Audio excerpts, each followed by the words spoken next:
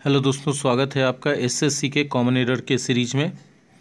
आज के वीडियो में हम लोग देखेंगे क्वेश्चन नंबर 155 टू 165 और ये questions SSC tax assistant exam 14 दिसंबर 2008 में पूछे जा चुके हैं। तो चलिए शुरुआत करते हैं हम लोग अपने क्वेश्चन नंबर 156 से। The whole country was suffering by नहीं होना चाहिए, सफरिंग फ्रॉम होना चाहिए। Suffer from something. या जब सफ़र का अर्थ हम लोग एक्सपीरियंस के रूप में इसका यूज़ करते हैं या एक्सपीरियंस के अर्थ में सफ़र का यूज़ करते हैं, तब उसके साथ कोई प्रीपोजिशन नहीं लगाया जाता है। ठीक है? आगे बढ़ें। Question number one fifty seven I do not know where could he have gone जब समझने की है, जब हम बोलते हैं आई डू नॉट नो तो हमारा यह सेंटेंस इनडायरेक्ट नरेशन का सेंटेंस है जिसमें ऑक्सिलरी वर्ब को सब्जेक्ट के पहले लिखना बिल्कुल गलत होता है, यानी एरर है पार्ट ए में। One fifty eight I suggest that he goes he goes गलत है ही शुड गो होना चाहिए। सजेस्ट के बाद आने वाले दैट क्लाउज में शुड प्लस वी वन का यूज़ करते हैं। एरर है पार्ट टू में। One fifty nine the introduction of tea and coffee and such other beverages have not been without some effect देखिए भाई, आप अच्छे से देखें, यहाँ पर सब्जेक्ट है द इंट्रोडक्शन जो एक सिंगुलर सब्जेक्ट है, इसलिए हैव का उपयोग गलत है, उसकी जगह हैज़ का उपयोग होना चाहिए। और चूँकि यहाँ पर विदाउट का उपयोग किया गया है, इसलिए सम की जगह एनी होना चाहिए।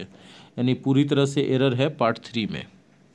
हम लोग चलें अब क्वेश्चन नंबर वन सिक्सटी की तरफ़, ठीक है? क्वेश्चन नंबर वन सिक्सटी ये रहा। In spite of the road block the guards allowed us allow somebody के बाद टू प्लस भी वन का उपयोग होना चाहिए था। यहाँ भी वन तो है, लेकिन टू मिसिंग है, इसलिए एरर है पार्ट थ्री में। Question number one sixty first the newer type of automatic machines देखिए मशीन से एक प्लूरल सब्जेक्ट है, इसलिए वॉशेज़ की जगह वॉश का उपयोग होना चाहिए। एरर है पार्ट टू में। Question number one sixty second by the time we got our tickets and entered the cinema theatre the show was already begin ठीक है?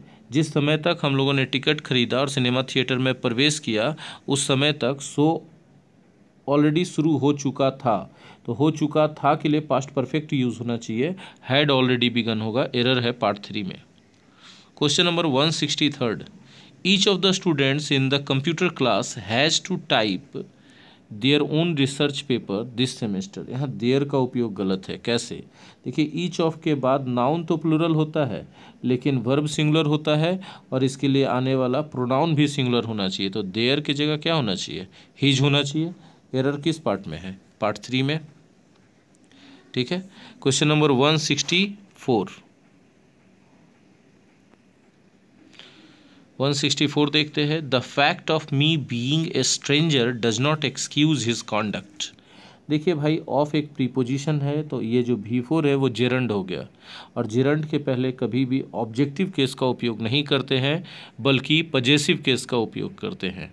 यानी मी का उपयोग गलत है, इसके जगह माई का उपयोग होना चाहिए। एरर है पार्ट ए में। लास्ट क्वेश्चन आज के वीडियो का 165 का। The sea looks as if it has been agitated देखिए एजिफ है और एजिफ के पहले प्रेजेंट इंडिफिनिट का क्लाउज है तो एजिफ के बाद प्रेजेंट परफेक्ट नहीं होना चाहिए, बल्कि वेयर का उपयोग होना चाहिए। एरर है पार्ट टू में।